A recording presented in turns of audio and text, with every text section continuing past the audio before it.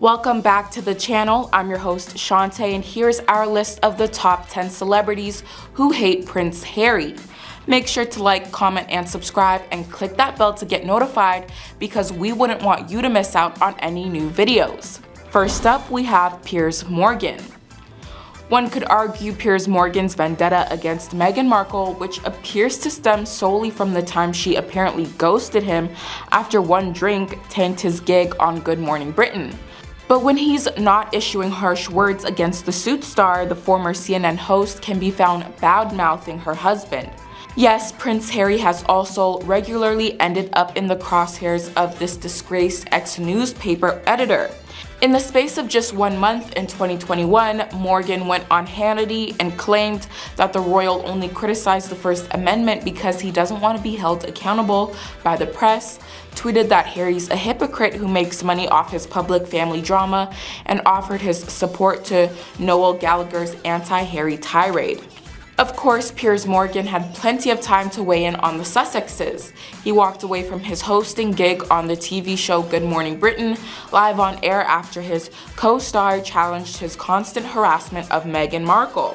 Our next celebrity on the hate train of Meghan Markle and Prince Harry is Noel Gallagher. During the Britpop era, Noel Gallagher was considered by many, including Prime Minister Tony Blair, as the voice of his generation. Regardless of whether you were a fan of Oasis, Beatles influenced indie rock, you could always appreciate a clever one-liner from the guitarist. However, after a quarter of a century, the older Gallagher brother sounds like the kind of dinosaur he once rallied against. In a 2021 interview with The Sun, the frontman of the High Flying Birds referred to Prince Harry as a woke snowflake in response of his criticism of the royal family.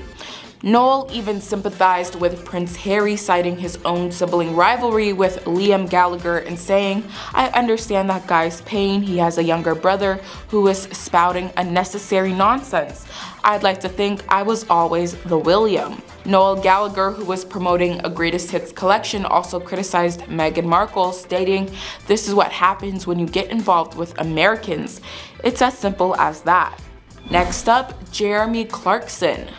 Former Top Gear host Jeremy Clarkson has never been the most sensitive of souls. The TV personality has built a career on offending pretty much every minority group after all.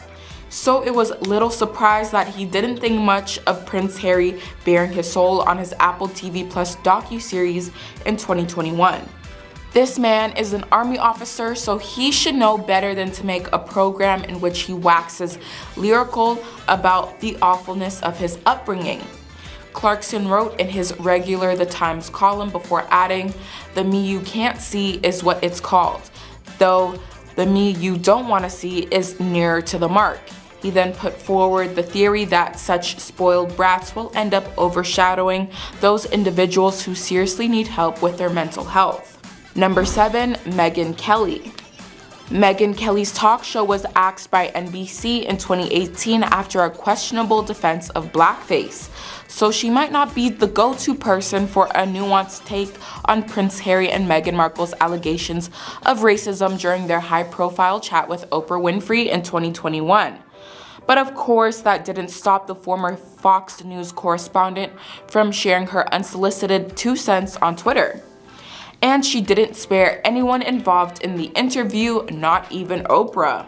Megyn Kelly argued that the talk show queen's questioning lacked specifics while also accusing Meghan Markle of unjustly berating the press, the palace, and even her father but it was the prince who bore the burnt of her criticism. In a tweet, Megyn wrote, Harry won't spill the beans on which family member was concerned about the color of his kid's skin.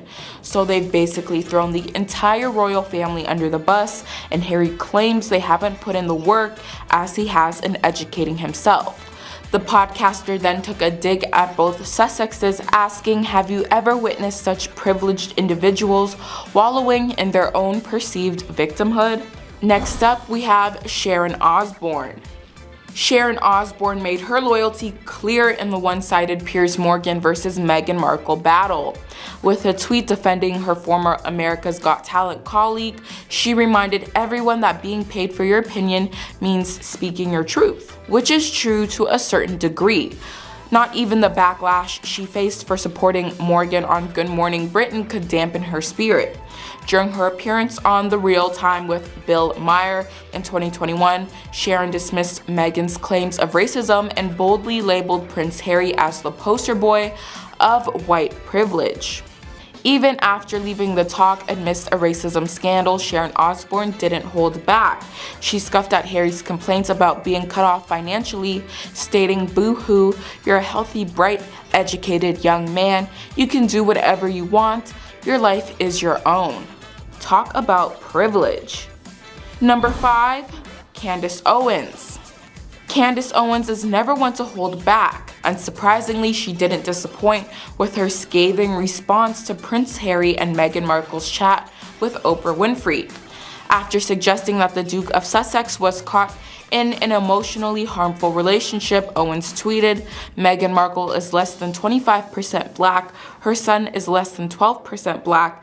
Blaming her blackness for everything that happened to them is a sickening level of scapegoating. And what Harry is doing to his family who can't respond is simply unforgivable. She couldn't resist coming for Harry after the premiere of his Apple TV Plus project, The Me You Can't See two months later. Referencing the mental health documentary series, Owens tweeted, It's been three days since Prince Harry gave another exclusive interview about how much he and Meghan despise his family. Someone should really check on them. Our next celebrity is considered to be one of the closest to the royal family. At number 4, we have Paul Burrell.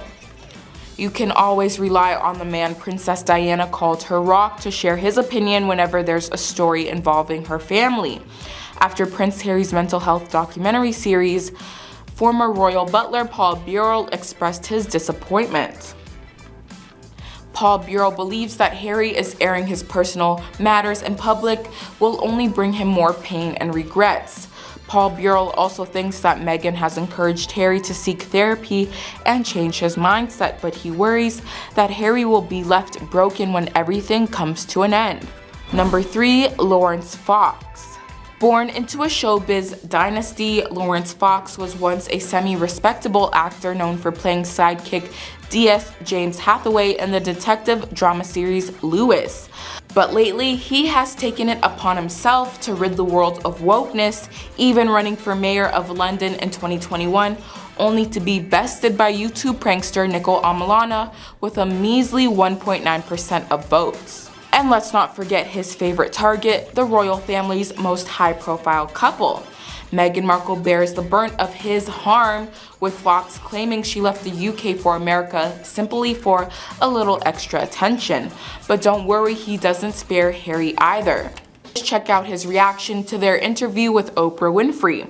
On Twitter, Fox referred to the former Suits star as the Duchess of Woke Victimhood and added Her Majesty should strip these greedy, hypocritical, freeloading, narcissistic brats of their titles. They're the exact thing they accuse everyone else of being.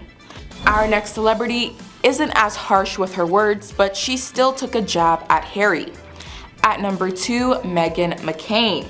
Prince Harry caused a stir when he talked about a core American constitutional right on the Armchair Expert podcast in 2021.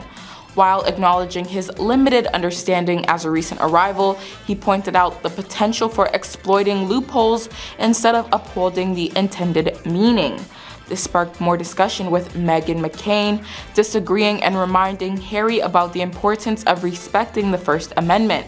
Despite their differences, McCain did express admiration for Harry's wife on The View earlier that year. Last but not least, at number one, another celebrity who expressed their opinion on Prince Harry's view on the First Amendment is Sean Hannity. Unfortunately, he wasn't as nice as Meghan McCain. Prince Harry's comments on Armchair Expert about the First Amendment ruffled feathers and triggered another Fox News regular. Sean Hannity introduced the Invictus Games founder as England's royal pain in the butt on one of his show episodes in 2021.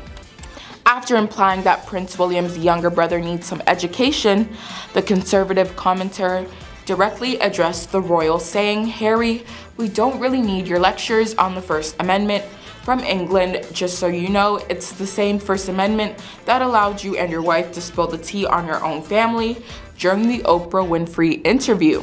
You two didn't hold back when it came to accusing your family of racism. Sean Hannity then wondered if Harry should consider relocating to a place more compatible with his restrictive ideas. But let us know your opinion in the comments if you think Harry voicing his opinion on the rights of Americans was a good idea.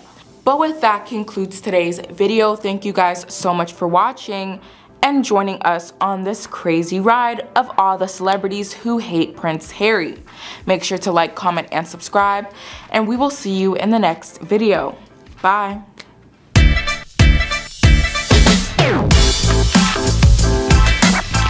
Thank